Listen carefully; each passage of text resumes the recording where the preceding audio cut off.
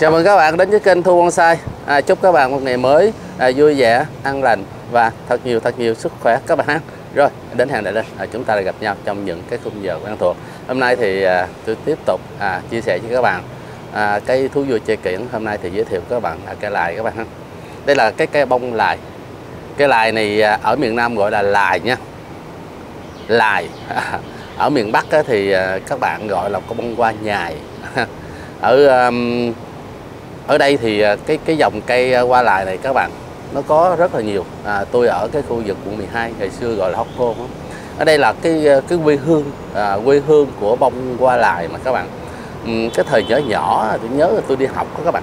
Đi học cách đây những cái thập niên đầu thập niên 80 ừ, đầu thập niên 80 mình đi học mình đi ngang qua mấy cái vườn lại ở vùng An Phú Đông á.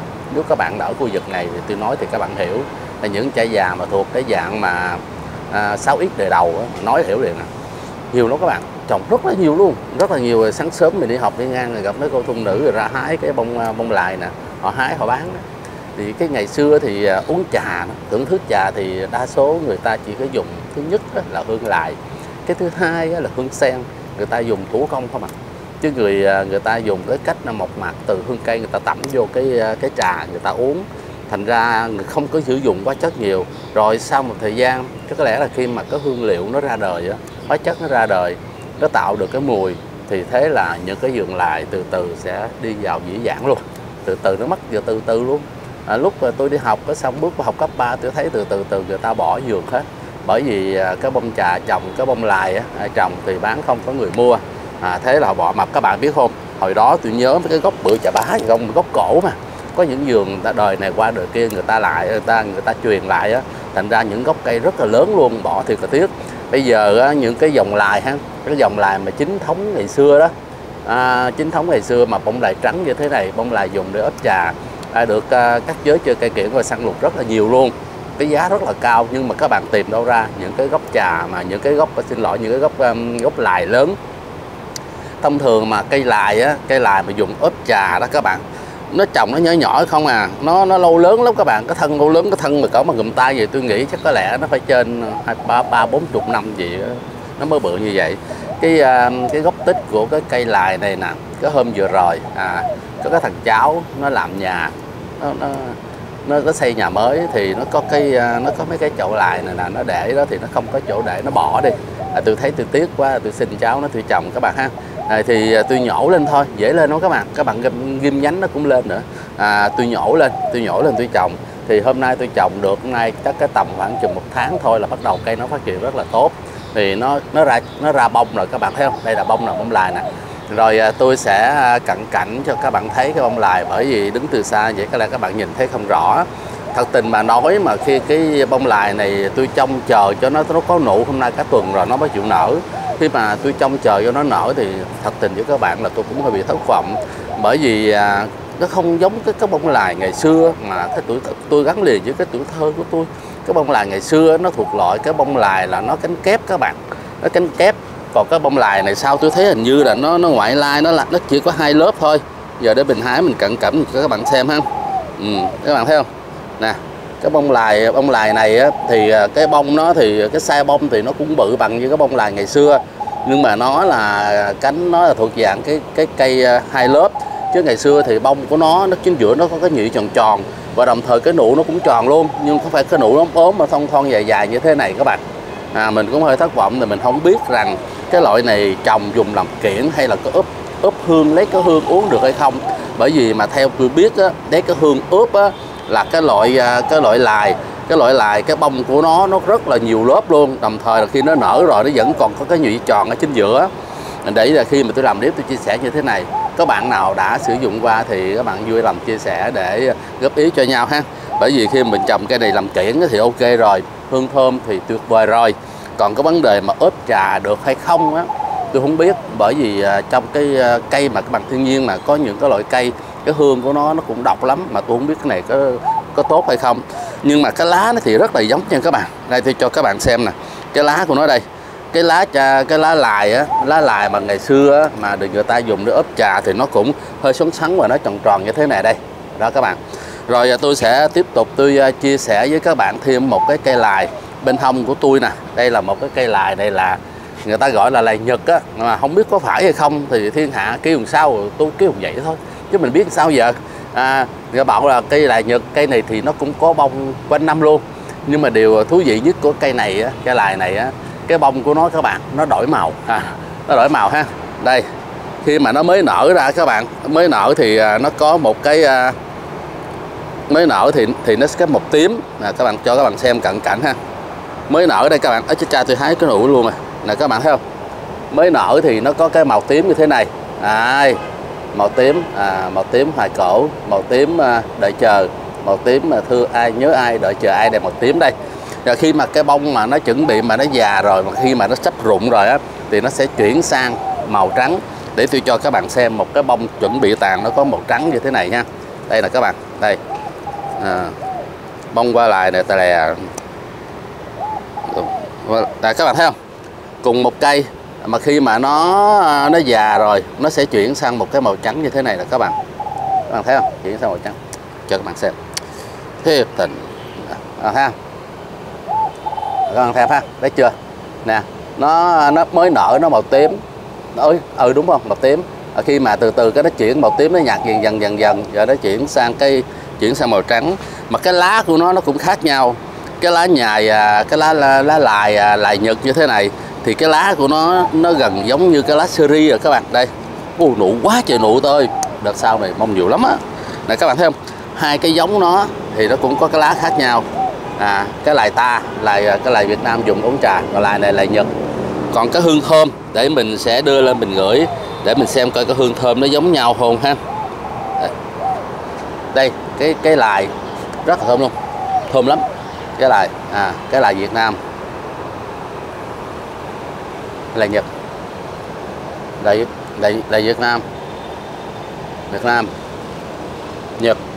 Nếu mà thằng Nhật này á ngửi một mình nó các bạn sở hữu một cây lài Nhật thì các bạn nghe cái mùi nó cũng rất là thơm.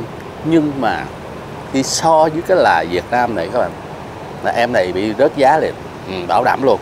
Các bạn thứ trồng thứ các bạn trải nghiệm tôi nói đúng hay không ha? Các bạn mà đem cây lài này cây lài à, Việt Nam các bạn đưa vô cái lài Nhật thì cái hương thơm của lại Việt Nam nó nồng nàn hơn nó đậm đà hơn nó quyến rũ hơn nó làm nhiều người mê hơn. À, Nhật à, Nhật thì đẹp của Nhật. Nói chung là mỗi một hương thơm thì nói cho vui thôi. Mỗi một hương thơm đều nó có nó đặc trưng của nó. Nhưng mà tôi thấy cái hương lại nó cũng giống giống. Hoặc là các bạn có thể mà trồng cây bông dành dành á dành dành mà cái loại mà cánh kép á, bông nó cũng rất là thơm. Cái hương thơm nó gần giống như bông lại bởi vì à, tôi không không dám chắc là cái bông lại này có thể người ta có thể uống trà được hay không. Nhưng mà cái cây bông lại này thì hương thơm đặc trưng rất là đậm đà luôn. À, thơm lắm các bạn. Ừ. à, các bạn sở hữu những cái dòng cây những dòng cây mà hương thơm chúng ta mà vừa chơi kiển à, chúng ta mà vừa sở hữu cái hương thơm của nó thì các bạn nên chọn những cái dòng cây này. Hôm nay tôi giới thiệu để các bạn có sự lựa chọn ha ở ngoài thị trường thì họ có bán rất là nhiều trên đường phan phan huy ích đó phân ít kêu gọi dấp á. Thì tôi chỉ vô đó thôi tôi không đi đâu hết chứ vòng vòng. Cái nhà chạy vô phân ít muốn mua gì muốn săn lùng cái gì vô đó thôi. Cây nhỏ nhỏ họ trồng họ bán chỉ vài chục ngàn thôi. À, còn à, cây à, cây lại nhật này cái lài nhật này cây nhỏ mà cây giống á à, tôi thấy trên mạng họ bán họ rao bán ở trên mạng đó các bạn. Họ rao bán ở trên mạng à, ở đâu à cái tầm cũng à, bữa hổm tôi coi trên à, facebook nó rao à, nó rao gì à, nó bán ba cây mà trăm mấy trăm ba sao đó, cũng rẻ lắm. Họ chiết họ bán đó. À, họ chiết họ bán cũng rẻ lắm đó. Cái cây này các bạn biết không? Khi mà các bạn chơi bonsai các bạn tạo dáng thì các bạn nên tỉa nhánh thường xuyên cho nó thì cái nhánh này nó mọc lên nó mới có giá trị. Những cái cây lớn á tôi thấy họ vườn họ bán những cái cây mà cái cái cái gốc mà cái tầm khoảng chừng ngón chân cái có thể cái thôi á, mà cao cái tầm khoảng một mét một mét đến mét hai. Nếu mà cái dáng ok thì họ kêu giá cũng khá là chát á. Họ kêu giá cũng 3 đến 5 triệu á còn à, những cây mà lai Việt Nam như thế này mà gốc bự bằng tay rồi lại cổ thì ôi trôi đó là giá thương lượng thôi. À, à, đó à, thành ra là những cái dòng cây nó à, hương thơm. Nhưng những dòng cây này tôi thấy chắc có lẽ là thứ nhất là mấy ông già mấy ông già già già chắc già chắc chát như tôi á, thì à, mới thích những cái dòng này. Bởi vì cái những người già đó người ta thường trầm tư người ta thường hoài cổ thì à, người ta vừa chơi kiển người ta chơi từ từ người ta vừa thưởng thức ta vừa nhìn người ta vừa thưởng thức hương hoa thì người ta chơi này. Hoặc là quý vị nào các anh chị em nào mà, mà thích ờ, ướp trà thì chúng ta mua cái trà mua mua cái lài. Nhớ nha cái lài Việt Nam nha. À, cái lài này thì tôi không chắc là có thể cái mùi hương nó có tốt và sức khỏe hay không. Nhưng mà cái lài giống như giống như vậy nhưng mà bông nó cánh kép bông cánh kép nó nó nhiều lớp nhiều lớp mà cái nụ nó tròn thì lài nó để chắc chắn là chúng ta sử dụng được. Thì ngày xưa thì ông bà ta thường sử dụng là uống trà đó các bạn người miền Nam người miền Nam thì uống trà là trà có hương, thì sử dụng cái cái loại là cái trà lài với trà sen thôi. Ngày xưa là thường có hai loại đó. Thì bây giờ người ta vẫn dùng trà hương á, nhưng mà toàn là hương liệu thôi, chứ không phải là hương tự nhiên. Hương tự nhiên là chỉ ở nhà mình tự làm, chứ còn à, đi ra ngoài mà mình mua nó hầu như là không có nữa đâu. Đó các bạn. Còn à, trồng cây này nó cũng dễ à, dễ lắm các bạn. Thì tôi đã nói, chia sẻ với các bạn rồi à, cây à, cây lại Ấn Độ thì chúng ta chiết cây này cũng vậy. Nếu mà các bạn muốn à, bảo đảm nhân giống ăn chắc ăn hơn trăm cây như một thì các bạn nên à, nên tiến hành cái công việc các bạn chiết nhánh à, chiết nhánh chiết nhánh các bạn trồng thì sẽ chắc cú hơn. Bởi vì à, ghim nhánh các bạn mà à, nhân giống bằng cách mà dâm cành thì à, các bạn phải có thuốc kích rễ. Các bạn ngâm vô thuốc kích rễ rồi các bạn trồng. Tuy nhiên nhưng mà tỷ lệ nó không đạt được hiệu quả như 100% uhm, trồng thì tất cả những cây nào không riêng gì cây lài thì chúng ta phải để những nơi có ánh sáng đầy đủ lài để nó chịu ánh sáng đầy đủ. Và đồng thời chúng ta tưới nước mỗi ngày. Tôi thấy thì à, thỉnh thoảng nó cũng có rầy. À, các bạn phun thuốc diệt rầy cho nó nếu mà chúng ta phát hiện có rầy. Và đồng thời các bạn à, bón phân thì bón phân hữu cơ thôi bón phân hữu cơ định kỳ mỗi tháng chúng ta bón một lần. À, còn nếu mà những cây nào mà nó có hiện tượng mà nó làm biến nó làm biến ra bông thì à, các bạn à, tiến hành kích cho nó một cái ờ, liều à, một cái liều phân NPK NPK hoặc là các bạn chơi DHB và NPK là 20 20 15 hoặc là những loại NPK tương đương, cái loại nào để dành cho cây, ra hoa, kết trái. Thị trường bây giờ họ bán phân rất là nhiều.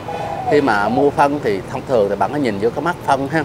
Nếu mà kích thích ra hoa đậu trái thì cái hàm lượng lân lân và kali, chủ yếu là lân, nó cao hơn đạm là được. Là ok. Thì về chúng ta trải nghiệm đi các bạn lưu ý ha NPK nó cũng rẻ lắm một ký nó tầm khoảng 25 đến 30 ngàn một ký thôi. Trời ơi một ký các bạn bỏ miệt mài siêu gió luôn. Chính vì mà cái rẻ tiền của nó à, mà vô tình là chúng ta hào phóng ban phát cho những em quá nhiều là quá nhiều. Và cứ nghĩ là rẻ quá bỏ nhiều cho cây nó lên cho nó tốt nhìn cho nó sướng mắt. Nhưng mà các bạn đã biết rằng cái riêng à, cái phân cái phân vô cơ đó cái dòng phân đó các bạn mạnh tay một cái mạnh là nó có hiện tượng cái ngộ độc dư phân nhẹ thì nó rụng lá hàng loạt còn nặng là nó ngủm của tỏi. Thành ra khi mà bón tăng bón phân bón phân hữu cơ vô cơ cho cây thì các bạn nên xem cái liều sử dụng trên bao bì. Và cái đồng thời ha tôi nói rất là nhiều lần à, tôi nói rất là nhiều chia sẻ rất là nhiều tận tình với các bạn.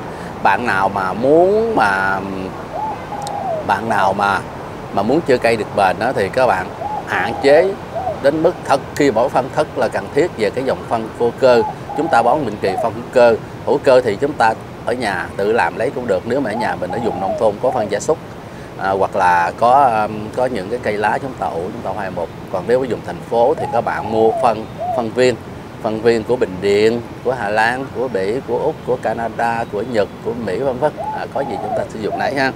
Uhm, các bạn biết không, cái nguồn phân mà vô cơ các bạn xài thì thường thường á, là nhà nông người ta xài những cái loại người ta bón rau nhiều nhất là phân ure. Ure người ta sử dụng cho những cái dòng cây ngắn ngày như là rau, rau hoặc là bón những cây hoa mà bán à, hoa cúc hoa dạng thọ những cái bông hoa mà ngắn ngày. Còn khi mà các bạn chơi bonsai à, các bạn bón đi. À, có nhiều bạn tôi nói các bạn cũng không cũng không tin các bạn muốn trải nghiệm thì trải nghiệm đi. À, các bạn hãy tự trải nghiệm mà à, các bạn sẽ thấy. Các bạn bón liên tục đi giống như cái xứ này ha các bạn bón liên tục cứ tháng lần các bạn bỏ NPK tháng lần bỏ NPK bỏ liên tục một năm cây của bạn trụi lỗi luôn. Nó rụng không còn cái bông không còn cái lá được nó chỉ có bông. Đầu tiên thì nó rụng lá nó rẫn ra bông. Từ từ từ từ, từ cây chùi lỗi có cái cọng không à rồi rồi rồi rồi tiếp tục bỏ tiếp bỏ tiếp để chết. À, thành ra những cái dòng phân mà vô cơ á, thì khi mà chúng ta bỏ là chúng ta nên cân nhắc ha cân nhắc để chúng ta bỏ. Uhm, rồi hôm nay thì tôi cũng uh, chia sẻ với các bạn à, giới thiệu với các bạn à, cái dòng cây à, dòng cây để chúng ta vừa chơi bonsai vừa ngắm. À, không riêng gì các bạn đạt thú vui cho bạn mà cả là thú vui cho bà xã bởi vì phụ nữ mà. Họ rất là thích à, mình rất là thích ông chồng à, trồng những cái loại cây có bông có hoa có hương để khi mà dụ vợ lên ngắm ha dụ với bà lên ngắm à, ngắm cho vui. Thì bà ngắm bà sướng rồi thì sau này à, cần gì nói bà bà bà, bà cho tôi mượn vài triệu tôi mua chậu cho tôi mượn vài triệu tôi mua tôi, tôi mua tôi mua tôi mua cái à, uh, mua cây. Mượn mượn vậy thôi chứ tiền đâu trả. Cái chừng ba đòi thôi tôi buộc cái khác. Nó coi dễ phụ nữ dễ dụ lắm. Có vậy phụ nữ hảo ngọt. Các bạn vuốt vuốt vuốt vuốt dụ dụ mượn tiền bả đi. Bà sướng là bả cho mượn. Ở cho mượn là bắt đầu cái à, cái cái cái ba đòi không có tiền trả. Cái tối ngủ cái để tay chán rầu rĩ hoài chặt chọc hoài. Bà cái kêu kêu nó kêu rầu quá tiền bà tôi chưa trả. Bảo đảm bà xóa nợ cho bạn liền. Cái chiêu đó tôi tôi biết. À, bởi vì mấy cha già có kinh nghiệm bởi vì người ta nói cái người già có cái hay của người già tuổi trẻ cũng có cái hay tuổi trẻ tuổi trẻ được cái lực sôi nổi sốc quá ào ào ào ào ào. À, nhưng mà tuổi già chậm chậm từ từ họ có cái chiêu của họ. À, đó như vậy thôi ha. Nói chuyện cho vui là chính. À, trên cái kênh thu bonsai thì cây kiển là một cái chủ đề xen lòng vào những cái tâm sự những cái công chuyện đời thương để à, nếu mà các bạn nào mà có, có cảm thấy mà những cái clip phù hợp thì các bạn hãy để lại like ha. À, bạn nào chưa đăng ký à, nhấp like à, ủng hộ tinh thần người làm clip. Còn bạn nào mà chưa có chưa có cái đăng ký kênh thì bạn hãy đăng ký kênh. Bạn nhớ nha có bạn có nhiều bạn nói tôi là à, Ồ, tôi đăng ký kênh của ông rồi mà sau mỗi cái clip ông phát sóng tôi là không thấy. Các bạn thân mến là khi mà các bạn mà nhấp vô cái chữ đăng ký á, nhấp vô chữ đăng ký tôi không biết là trên cái điện thoại tôi không để ý. Hình như điện thoại là nhấp vô đó là xong phải không ta? Nhưng mà trên cái máy tính các bạn biết không? Trên máy tính mà khi các bạn nhấp vô ngay chỗ cái cái cái biểu tượng mà, cái biểu tượng mà à, đăng ký á để để subscribe đăng ký á, thì nó sẽ hiện lên. Đăng ký nó nó hiện lên cái chữ là đã đăng ký. Rồi xong rồi đã đăng ký cái bên bên tay phải, chữ đã đăng ký nó có cái chữ V. À có chữ V. Các bạn nhấp cái chữ V lên thì nó sẽ mở ra khung cửa sổ. Trong khung cửa sổ đó nó, là nó hỏi bạn là bạn có cần là chia sẻ tất cả hay không? Thông báo tất cả bạn nhấp vô chữ thông báo khi mà cái chuông đó cái chuông màu đen nó hiện là những cái tia tia tia xung quanh là những cái video những cái kênh của bạn yêu thích Và video nào mới hiện lên nó sẽ báo dùm ai của các bạn. Bởi vì có một số bạn là là cái thắc mắc là tại sao tôi đã đăng ký kênh rồi mà tại sao khi mà ông phát cái sóng lên phát cái phim lên là tôi không nhận được là nguyên do là như vậy. À, các bạn ha à, à, tôi thì à, giờ thì tôi già rồi hết xíu quách rồi à, các bạn à, thôi à, anh ở nhà à, chủ yếu là mình làm clip mình chia sẻ tâm sự các bạn cho vui. À, tâm sự được à, lúc nào à, làm clip được lúc nào thì hay lúc đó thôi. Chứ một ngày nào đó thì à, bạn thấy là cái kênh mình tự nhiên à, không còn hoạt động nữa thì bạn biết rồi đó ha. Hỏi nói cũng biết rồi ha. Rồi thôi nó đến đây phải nói lời chia tay với các bạn rồi nói dông nói dài nói nhảm. À, nói nhảm biết đã nghe không nghe ba là nói giảm ba là ba không cho tụi nó nhảm. Rồi tham bạn. À, thôi chia tay các bạn ha rất rất cảm ơn các bạn đã ủng hộ kênh. À, hẹn gặp lại các bạn trong những lần phát sóng kế tiếp. Bye bye.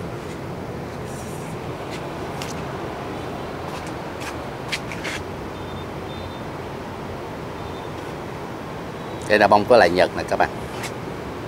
Nè các bạn thấy không? Cái lại nhật nè. Nó còn nụ rất là nhiều đây nè. Đó rồi bye bye bye bye rồi cũng còn nhiều chuyện quá nhiều chuyện lắm hồi, hồi nhỏ cho bà già tôi bà đẻ cái miệng ra trước là sao? Nhiều chuyện quá rồi không biết. Nữa à, có, nó có nụ nè các bạn. À, à, nụ nó nằm dưới đây nè. Nè nụ nó nằm chùm chùm chùm chùm. Rồi cây này à, cây lài này à, cây lài Việt Nam. À, cái lài này tôi thấy như nó lai lai thế nào thiệt tình mà nói chồng chồng. Chứ khi mà nó nở bông rồi tôi cũng không ưng ý cho lắm. Hôm nào tôi sưu tầm những cái loại lài đó à, để cho các bạn cho các bạn xem. À, à, còn quên nữa nó có cái loại bông lài á còn lại có nhiều người nó lại Ấn Độ có nhiều người có cái ngọc bút đó các bạn. Nó cũng thuộc loại nhóm lại cũng có bông thơm như vậy đây. Nè thấy không? Cái là Việt Nam mình cái nụ nó tròn, chứ không phải bớm dài dài như vậy. Cây là bảo đảm nó lai lai thế nào.